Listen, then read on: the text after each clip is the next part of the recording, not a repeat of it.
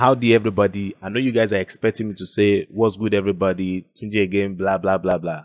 Sorry, I've changed. Alright. I have a new intro now, and it is What's good everybody? Tunji again from Ceasar Graphix. Welcome to my channel. Today I'm gonna be teaching you guys how to make this Risen movie poster. Alright, so without any further ado, let's jump into today's tutorial.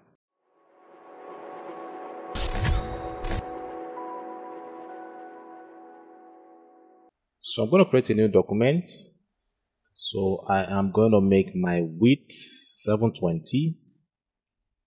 My height is going to be 900. And I'm going to make my, um, I'm going to target reason. Then the resolution is going to be 100. All right.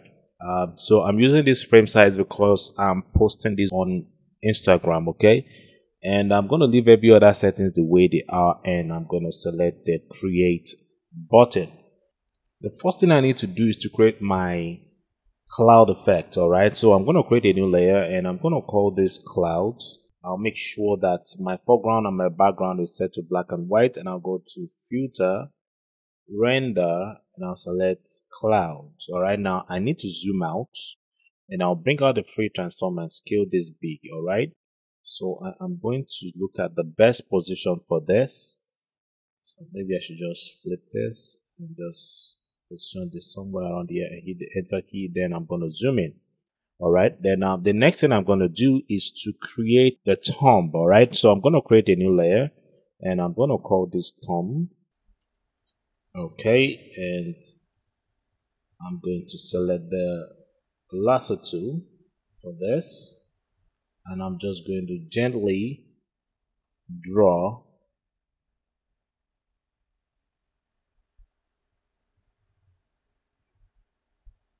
Until like so okay.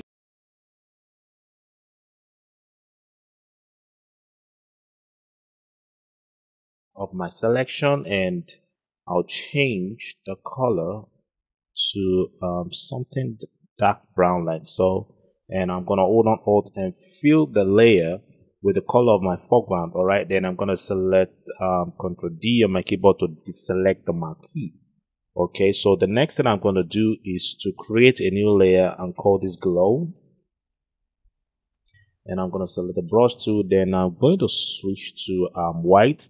Then I'll go to my brush settings go to my brush tip and select the CG cloud brushes all right so if you need this brush there's a link up here that will take you to where you can get the brushes. Then I'm going to just gently uh, you know what? Let's just increase the size of the brush and I'm going to turn on shape dynamic and uh, inside the shape dynamic settings I'm going to make sure that my angle jitter is on 38 and I'm just going to click. Now the reason why we need to do that is so as to have different angle like different uh, rotation angle of the brush. So now I'm going to just click once, all right, like so. And just in case you notice my brush is not strong, like as I'm applying it, it's not really giving that real color look. The reason why it's like that is because I have my transfer option checked here and I'm using a graphics tablet. My control setting is on pen pressure. But if you don't have a graphics tablet, you can easily turn down the flow to something around 15 and then use your you know your mouse okay? Your mouse to um, achieve this. So now i'm just going to just click and apply the brush to the project like so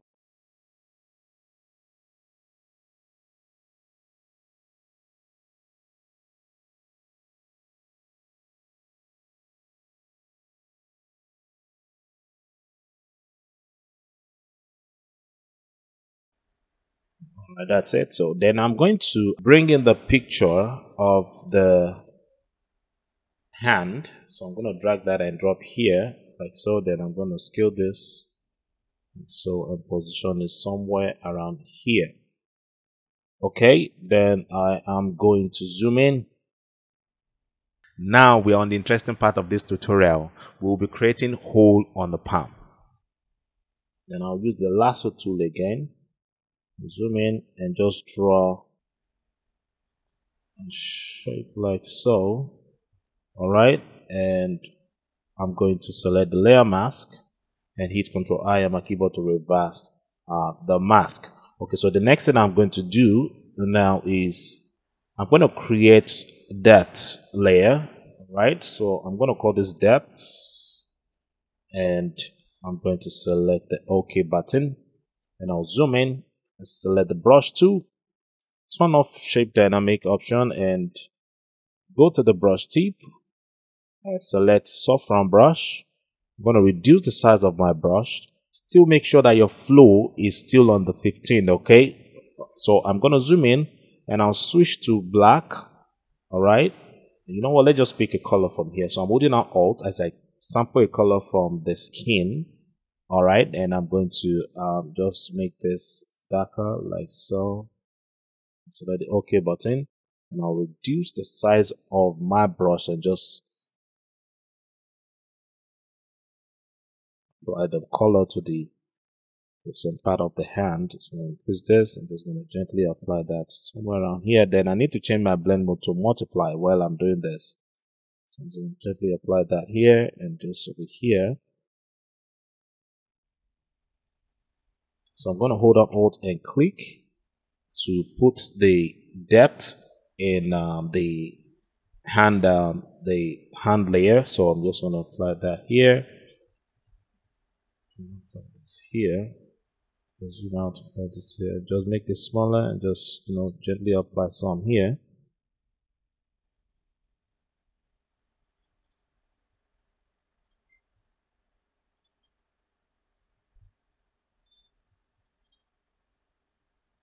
Notice as I'm doing this, I'm increasing the size of my brush and I'm reducing it. So gently apply this here.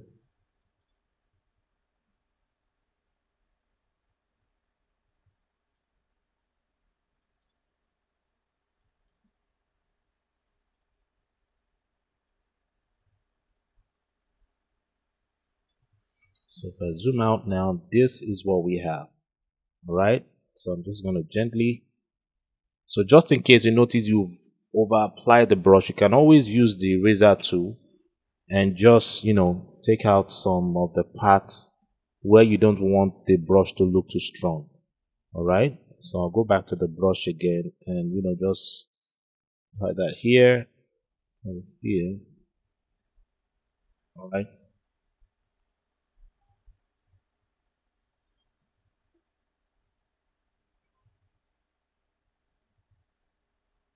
So another thing we can do again is to sample a color and pick this lighter shade of uh, the skin and create a new layer again. I'll call this depth 2. Alright, so what we're doing now is to add highlight to the hand, okay? So I'm just going to gently apply the color here, apply some color here, just extend this to this side, and just apply one here, just put this here, just you know make a common color here. Here. So we need to do the same thing. We need that we did to the um, shadow depth. So i'm going to hold on alt and click in between the two layers again and put this inside the hand layer. So i'm just going to gently put some lights around here and just do the same thing here like so. Some highlight So we can even add more shadow to this. This brown.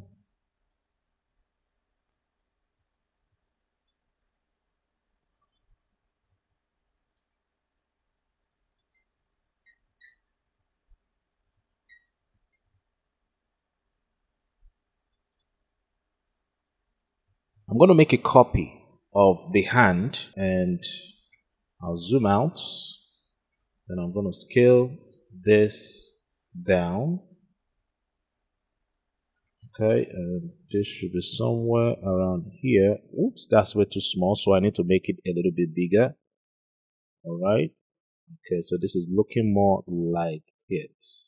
And I'm going to hit the enter key. So we need to take out this um, part of the hand from the layer. So I'm going to select the brush tool then I'm going to select the soft round brush. I'm going to turn off transfer, but you can increase your flow back to 100 now. and I'm going to select the layer mask of the hand and make sure that your foreground is set to black like mine and I'm just going to take out the hand from the layer like so okay all right so what I'm going to do next is I'm going to create a new layer again and call this depths inner and I'm going to select the OK button. Then I'm going to hold down Alt and click to put this inside the layer of the hand. And I'm going to uh, reduce the size of my brush, turn on the transfer option, and then you can now push this back to um, 15, all right? And I'm going to just uh, gently apply the, you know, the color of my brush to the layer behind the hand, just like so. Don't make it too much, okay? and I'm going to um, go to uh, you know my adjustment tab here. I'm bringing levels all right? Then I'm going to push this to this angle. All right now you see we're beginning to have that real um, you know hole look okay? So I'm going to just move this in like so now this is affecting the background all right? We don't want that. So I'm going to click on this icon here to say I only want this to apply to the wound. So I'm going to zoom in and um, you know maybe we should just move this down a little bit more all right? So as to give it that real uh, hole look. All right this is good. Okay so this is looking more like it. All right um move it a little bit more okay so this is good so the next thing i'm going to do now is i'm going to create um, you know, a fill layer on the hand. So to do that, I'm going to hold down control and click on the um, thumbnail of the hand layer to create, to create a marquee selection of it. And I'm going to create a new layer and I'm going to call this fill. All right, then I'm going to select the OK button. Then I'm going to pick a dark blue. All right, a dark blue color like so. And I'm going to select the OK button. So I'm going to fill it with shortcut, which is Alt Backspace and opacity to um, let's say 29 all right you know what let's just put this in a group all right i'm gonna put this in a group now and i'm going to bring in my levels all right i'm gonna bring in levels adjustments and click here to apply to just only the hand group. Okay so i'm going to uh, push this in like so and this should follow like so. Right and I'm going to push this about this side this side so so.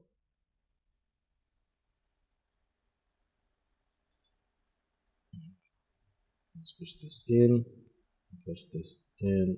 So all right so what I'm going to do is, I don't want this to apply to the whole, alright? So I'm going to select the brush tool and I'm going to zoom in and select the layer mask of the uh, levels and I'm going to make sure my foreground is set to black and I'm just going to take out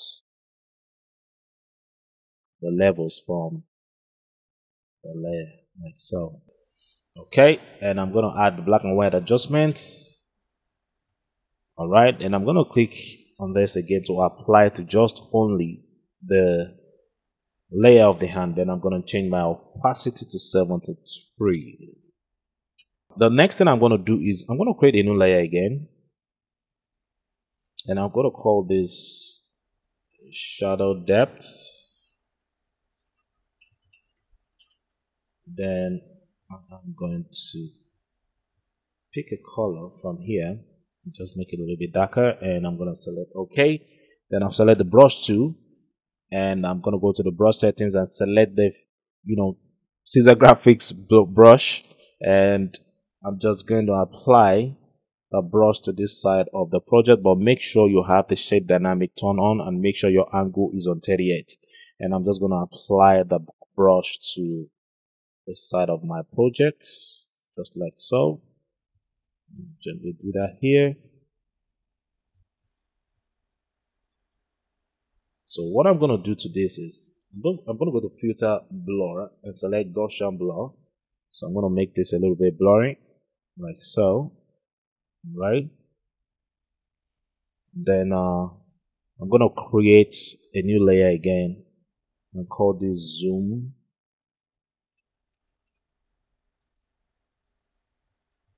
effects and select the OK button. I go to filter, render, and I'm going to select cloud. Then I'll go to filter again. I'll select um, blur and select radial blur.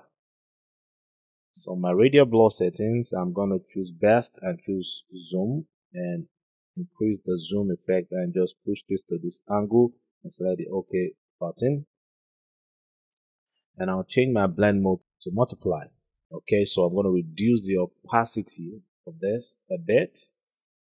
Right, and I'm going to use the level adjustment to just increase the brightness of this a bit. Just like so. Let's let it OK button. And um, so what I'm going to do is I need to add depth of field. My, you know, the entrance of my tomb here. So I'm going to select the tomb layer and I'll go to filter and I'll select a blur gallery and select field blur. So I'm just going to reduce the blur strength to 7 is fine and I'm going to select the OK button. You know what? I need to change the color of my, so I need to make the color of my tomb more darker. So I'm going to bring out the levels and I'm going to just uh, push this down. So, all right. So I'm going to hit the OK um, button. Okay, so uh, the next thing I'm going to do is to add color lookup. All right, so I'm going to go to the adjustments tab here and add color lookup. And I'm going to change my color lookup to teal orange. I'll make opacity 76. All right, so I'm going to go to the gradient map adjustment here and I'll click on the gradient editor.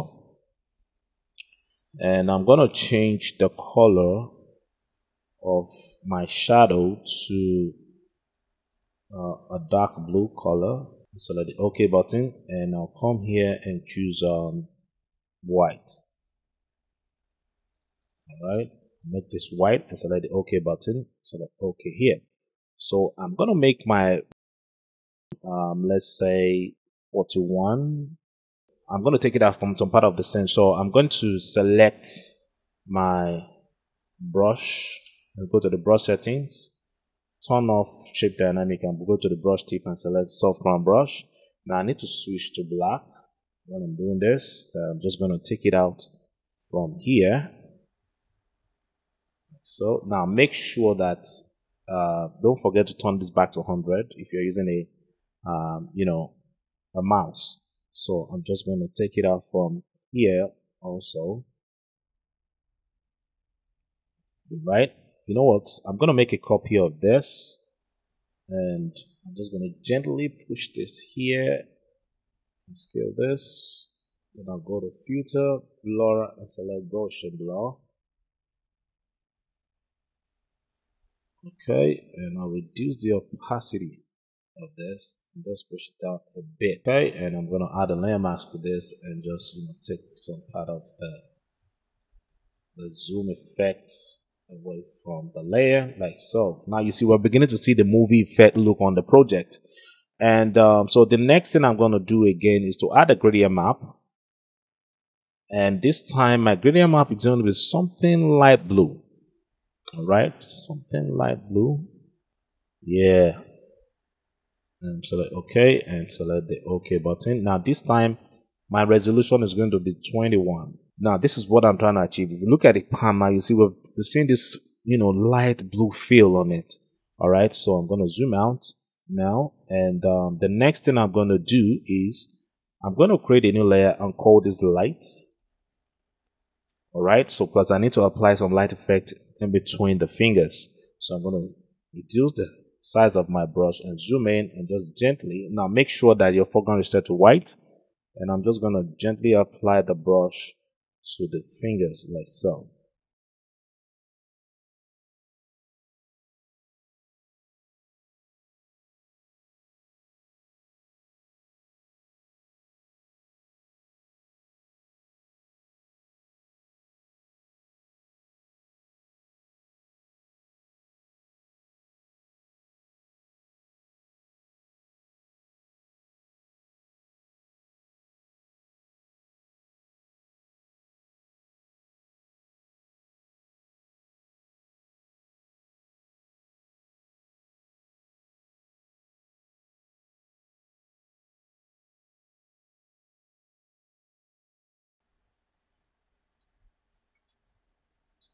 Right so now this is the before and this is the after. So the next thing we're doing now is to um, you know what let's just make a copy of the hand. All right so i'm going to hit ctrl j and push this above all the layers like so and i'll reduce the opacity. I still want to see the color of the hand all right but not too strong. This time i'm going to stamp visible of all the layers and take this to camera. Then i'm going to go to filter and i'm going to select the camera filter here. So um, for the basic i'm going to add a little bit more blue to this not too much and reduce the exposure a bit. And i'm going to push the contrast out a bit reduce the highlights all right? Then for the shadow add a little bit more shadow to the project all right? Then um for the texture. Now i'm going to push that out to you know to add more contrast to the pixels. And um, i'm going to go down to curve here. So close this and go to curve. And i'm going to reduce the curve. I'm going to push down the curve on this side and you know push it up from this side all right? And uh, I'll, I'll, close that. And for the details I'll add more sharpen to the project like so. All right more sharp onto the project like so. And for the um, so we don't have any for the color mixer I don't have anything to do here. Then I'll go to split tone yeah. So for the split tone I'm gonna push this to go around uh, blue. All right. It should be on blue.